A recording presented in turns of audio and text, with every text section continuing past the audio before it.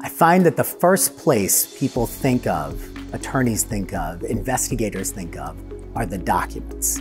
The documents are the key to understanding the narrative. They're not wrong. Documents play a very important part of the narrative. But there is such an enormous amount of documents in today's world that finding the documents that matter can end up being like a needle in the haystack. So leveraging other data points that you can layer into the documents to give you a temporal understanding of where the inflections in the documents matter is a real asset to understanding the facts.